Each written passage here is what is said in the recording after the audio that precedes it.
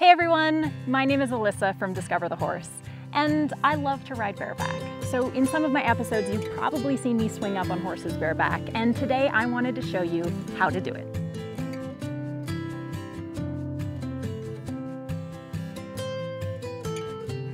Alrighty, so first things first, you need to make sure that you have a horse that is going to be okay with this. You can test out and just kind of see whether your horse is going to be able to handle this and be patient enough for you to be able to try a few things. So a good thing to practice first is just getting up and on bareback and feeling comfortable. So you can absolutely use a mounting block and you can also have somebody in front holding your horse just to make sure that everything feels good.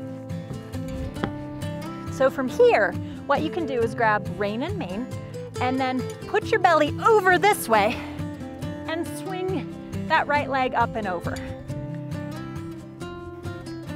All right, so we bounce and up to the belly. From here, you wanna make sure you're nice and balanced so that if you need to, you can just slide back down at any point. So again, here and up.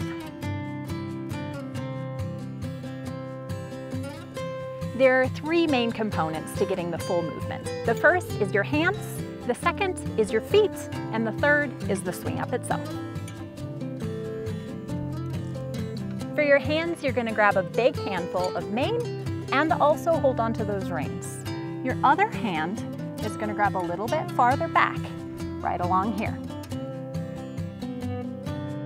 For foot positioning, start right at their shoulder and set yourself up back just a little bit so you have room to get some momentum. Now for the fun part. We've got our hands, we've got our foot positioning. And now you're gonna use your arms as well as a bit of spring to help you swing up and around.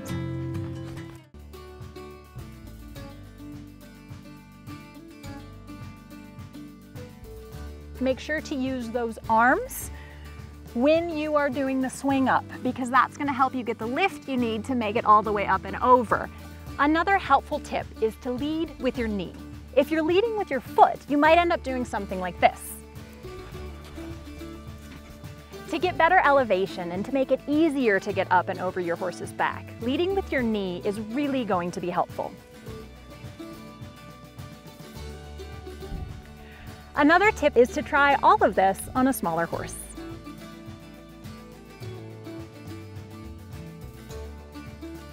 Last but not least, make sure to take this slow, be safe, and do one step at a time to make sure you're comfortable.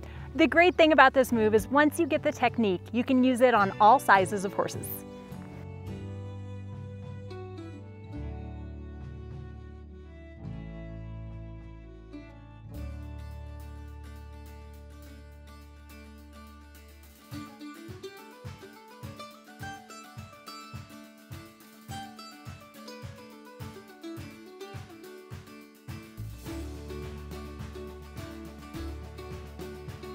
Thanks so much for watching everyone. I hope you enjoyed the video. Good luck with your swing ups and let me know how they go in the comments below.